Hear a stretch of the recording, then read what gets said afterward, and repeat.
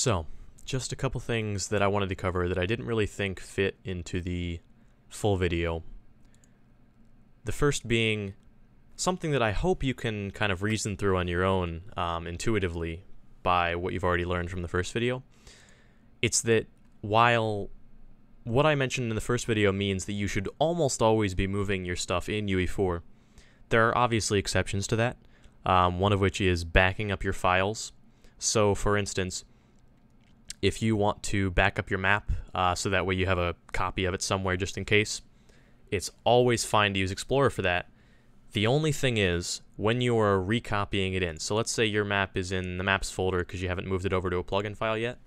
Um, if you copy, let's say Narva somewhere else, um, so I copy it to like somewhere in the folder, when you're pasting it back into the editor and you're using Explorer, you have to make very sure that you are pasting it into the exact location that you copied it from. So if you copied your map out of squad squad content maps, then you need to paste it back into that exact directory and it has to be named exactly the same thing when you paste it in or else the references won't work for what I hope are obvious reasons. Um, the other uh, obvious uh, a, you know exception is if you're copying content out of your build of UE4 to a different one, or if you're just copying it out, period, then obviously you can use Explorer. Just be prepared for stuff to break if your file path isn't exactly the same from the content folder. Um, now, if you're copying uh, assets from one build of UE4 to a different one, or from the SDK to a build of UE4, there's actually a handy function for that. Um, you can right click on anything and where is it? Oh, you might have to right click on a folder actually. Um, and there should be a migrate button. Yes, here. Um, and basically what this does is it'll take everything that that folder is referencing and it will package it all up for you.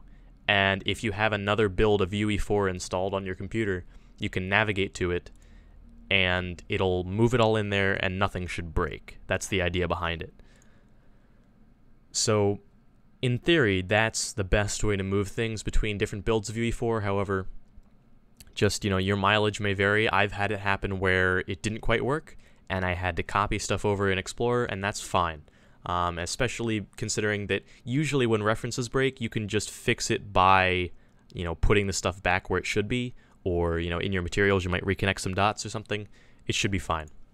Uh, second little bit before I end this video is that there's actually a handy tool that you can use for looking through references that I used in the first video but didn't mention, and it's this reference viewer option. It should be on pretty much everything. Um, and you can go in here and basically things to the right are things that this asset references.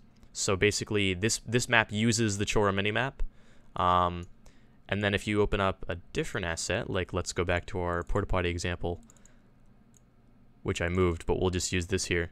Um, you can see that things that reference your asset are to the left of it. So Basra uses this asset, and this asset uses the concrete blend material.